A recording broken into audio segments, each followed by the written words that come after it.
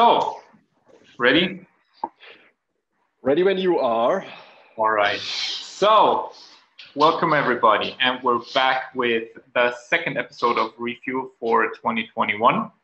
Um, this time, as you can see, um, I think this is truly the first episode ever that for of Refuel that we actually upload from our home offices. I think we once did it.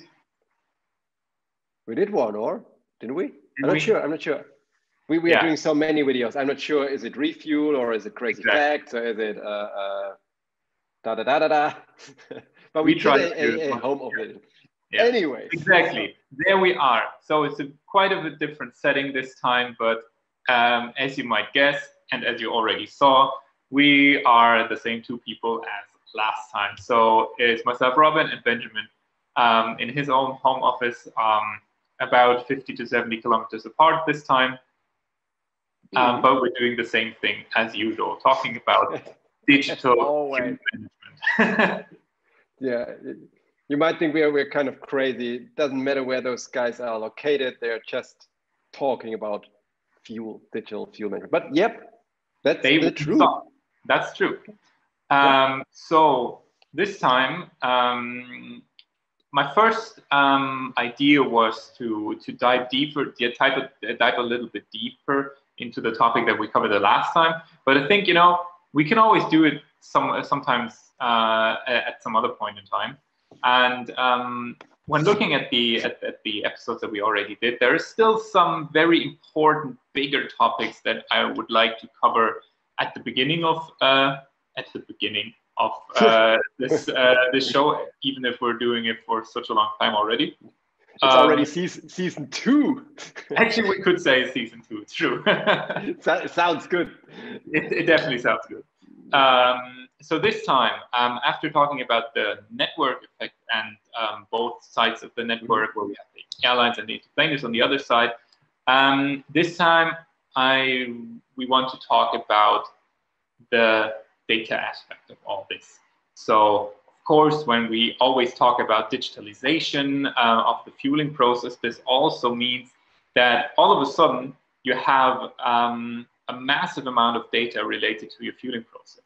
Basically, every single process step that is um, connected to that, from the fuel order to the acknowledgement of the fuel order, over to the um, fuel summary, and the, all the process steps in between, is digitalized. So those are those are messages and information uh, with timestamps that um, are saved in the database, and you all of a sudden have access to that. So um, this is really the topic that we want to focus on um, today and tell you a little bit more um, of the uh, about the advantages you as an airline and an entertainer, of course, because this time it actually um, matters for both sides of, of the network. Um, um, yeah, what you can, um, what and what are your benefits and how you can benefit from it um, as good as possible. So, um, Benjamin, as I already said, so you have all of a sudden this massive amount of data uh, covering your um, your fueling process. We have had a lot of customers in, in, in, the past asking, well, what do I do with it? So um, what was what would be your let's say number one suggestion to, to, to airlines asking this question? So all of a sudden I have those insights. What do I do with it? Make use of it. Ooh, bold statement. bold, bold statement. Um, but let's let's be a bit more more precise. I think an, an important aspect we, we, we have to mention, and people um, that are or who are working for, for an airline, or at least in the operations area of an airline, know that is um, that the, the turnaround process, the overall turnaround process, um, so not only the fueling process, but particularly the fueling process, um, is something like a, a blind spot when it comes to data. So they have a lot of data about the aircraft, the aircraft coming in, and they have a lot of a lot of uh, lots of data about the aircraft that is leaving. But the things that are happening in between, um, airlines have very, very limited data view on that. They have some own data they, they gather, but it's, it's very, very limited. Um, and as we all know, turnarounds are one of the most essential aspects of an entire flight schedule. Um, there is the, the, the, this is the, the, the slot where you waste time or where you lose time, not, maybe not wasting, but losing time, or where you can save time. Um, you can save much more time during a turnaround or lose much more time during a turnaround uh, compared to the, to the um, flight phase. Um, but airlines know very less about that process. Now, with a digital fueling process, you have at least a super, super clear picture what happens in the fueling process. And you can from that point analyze if and how the fueling process impacts your turnaround process. Are there delays due to the fueling process and not only due to the fueling process, but due to which part of the fueling process? Is the fueler always late? Does the fueling take too long? Is uh, the, the handover of the, in, uh, the, the, the fuel does this takes too long? What it, what it might be. So you have a very clear picture of what happens in fueling. And from that, you can do your analysis and try to improve your entire turnaround process, which I think is one of the most um, important goals an airline is trying to achieve. Yeah, true. Okay, Very so, long story. Sorry, but no, no, just uh, compromising it, uh, uh, condensing a short story for it, just, just, just to make it, to, just to be sure um, that I understand what you mean. So basically, we have the, um, the, the, this huge blind spot of the turnaround process, and all of a sudden, of course, we get a lot of insights about the, the fueling process itself. That can be helpful. It, it will be helpful. It um, will be. Yep. only have those data, it will of course help you to improve and analyze your fueling process. But um, even more essential, it, it, would be even more essential to to put that in relation to all the other processes that are happening along uh, the turnaround, right? Of course. So I think the, the, the, first step, the quick win is just looking at the, the, the, the pure um, fueling data, because I think you can really get a lot of quick wins out of that immediately. Um, and it, I think it will be probably different to the different stations you, you get the data from, um, but quick wins definitely. The second step, which is obviously a bit more complex, but potentially holds even more um, advantages and benefits for you, is getting the, the fuel data into context with, with other relevant operational mm-hmm. data. Might be yeah. check-in, might be weather, might be aircraft data, might be maintenance, tech, whatever it might be. And yeah getting some some even more detailed insights out of that. All right. But at least you you now for the first time you have the possibility to do that. You have the fundament to do that with the available fuel process relevant um, data. Yeah. Okay. Understood. So um, of course, and uh, one very important um, aspect here to add is of course that maybe there's some airlines out there that are doing this um, already, maybe for the hub. You know, maybe they have um, all the, the chances to analyze this, um, this data at their hub only because all the outstations are, um, the processes are different um, or they, they just don't have the resources at the moment to, to copy what they're doing at their hub because of mm-hmm.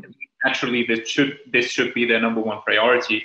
But mm-hmm. Um, of course, it's always important to look at your biggest outstations, maybe even at all of your outstations, to see if um, the if that same um, data standard is um, is applicable there, and it, and of course it should be to to make um, the, the, the highest level of um, analysis based on the data.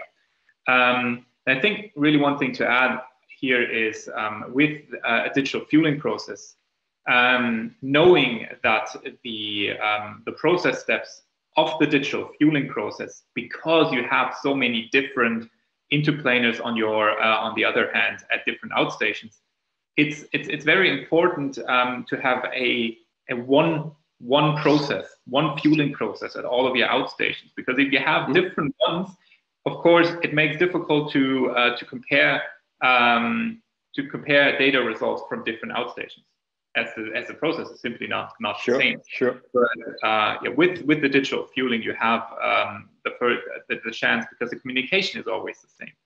Um, yep. So really, yep. it, it, gives you um, a chance to streamline your your fueling process, and then of course make it more um, comparable across the whole network. Absolutely, absolutely. And one thing even to add is um, when you when you think about the the contractual fundamental framework you have with your with your fueling provider, once you have that data available for each fueling provider, you can base the contracts on totally different SLAs. True. Simply because yep. you have the data. Um, you can you can check if the fuel provider is always on time at, at the position, um, starts fueling at the defined time, and and on and yeah. on on. Um, yeah. so things you, you haven't been able uh, to to do that before without having the data. So um, it, it offers you completely new possibilities when it comes to tracking the performance of the yeah. into-planer and vice versa of the airline, of course, too, and, and building SLAs upon that. So um, complete new instrument you have. Yeah, so so it's it's uh, it's reframing the whole negotiations that you can have with it, and and have much more um, performance orientated um, contracts, for example. Yep, yep. Yeah. I think it, it also just to add one last thing, it um, it eliminates some uh, what the right wording um, uh, is it prejudice? To think about. Prejudice. Yeah. What are you trying to say? Foretime. purchases, right? Yeah. Yeah.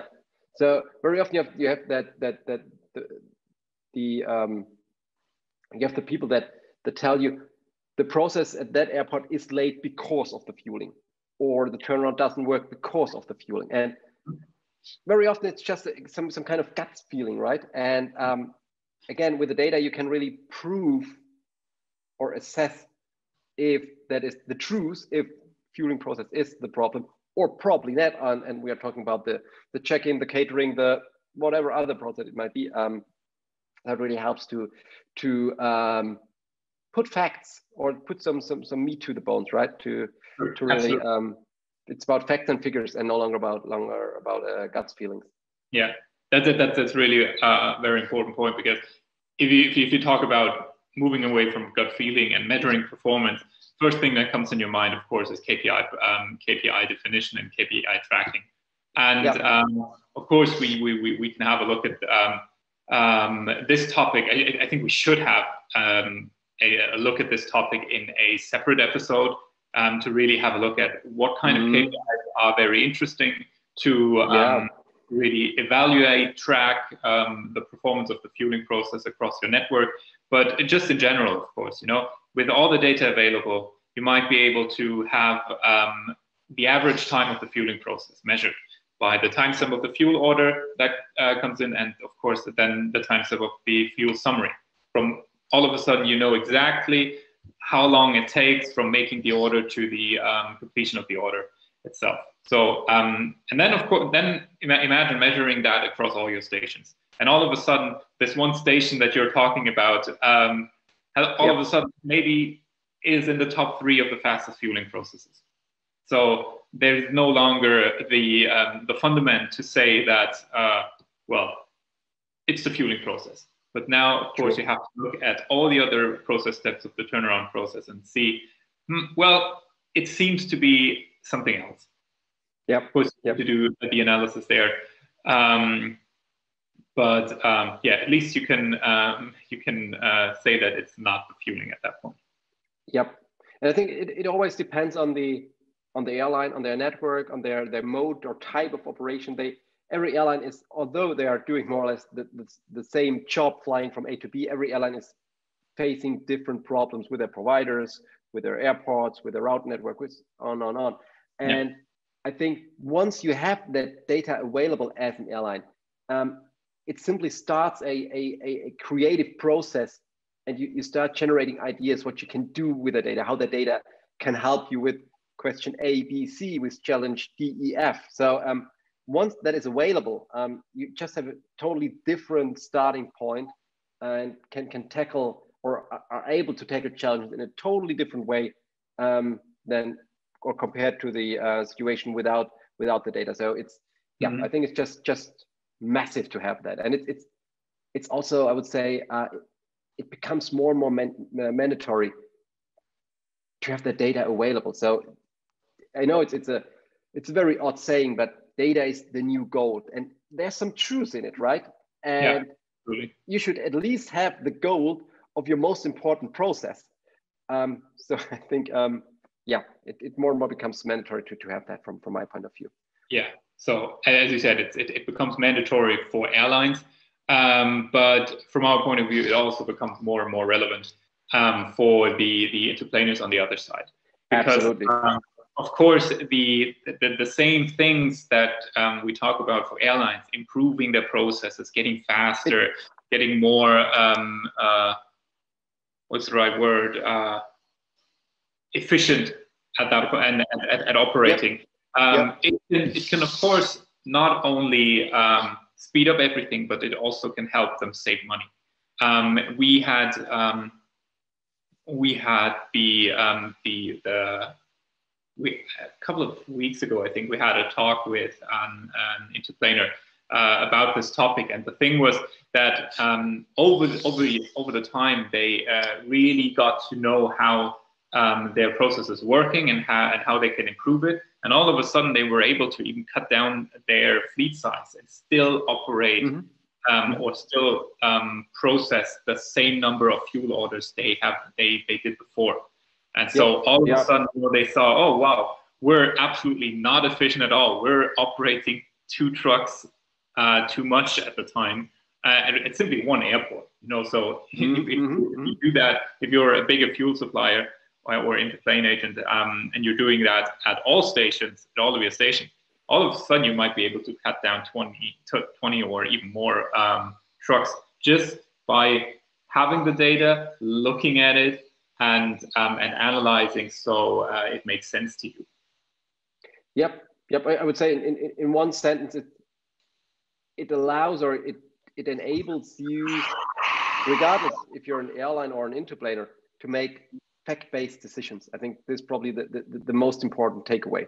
Um, you, you really have the data, and whatever decision might come comes uh, comes up in terms of efficiency, in terms of improvement, in terms of fuel truck reduction, whatever it might be, you really you have the data and you can make a decision based on on facts rather than than gut feelings. I think, and yeah, that's the most important aspect, probably from from from, from my point of view. Definitely, and then I think uh, moving away from gut feeling, getting down to data-driven processes. That's a really good point to, to end this episode, I would say this time, because to be honest, I realized that our last episode was the longest that we ever recorded with about 25 minutes. So okay. I think we might, we, we might need to cut down the length. I don't know at what minute we are right now, but I think um, no clue. No clue, but uh, at the at the moment, I think um, we got across the most important statement here because data yep. becomes more and more mandatory. It's the new gold you need to have it. You need to have a look at it. You need to have a look at it and improve your process accordingly.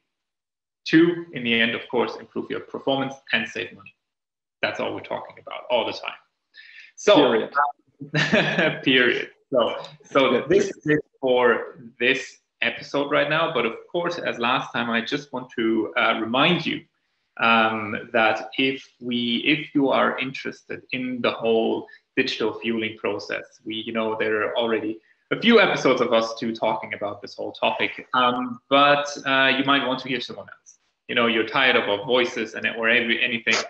Um, so on the 14th of um, of April at um, 10 a.m. CET, we will host the second episode of our Future Fuel Lab. This time with guests from uh, Shell Aviation and Cathay Pacific.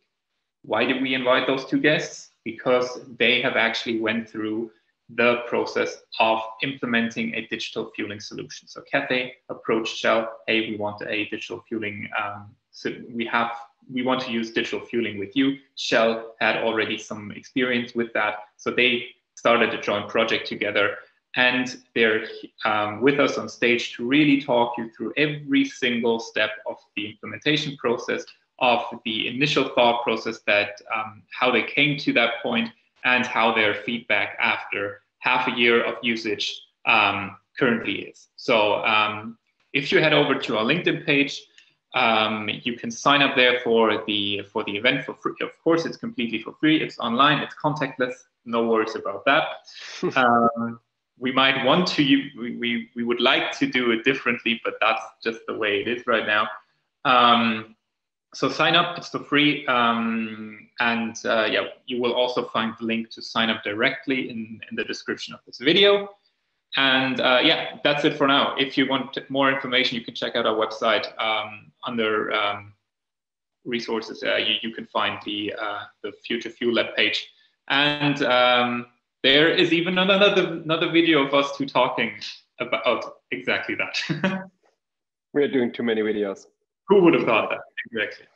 so um, with that, I just want to thank you again for uh, tuning into that uh, uh, episode of Refuel, and uh, hope you guys enjoyed it. And uh, see you guys in the next one. Bye. Cheers. Bye.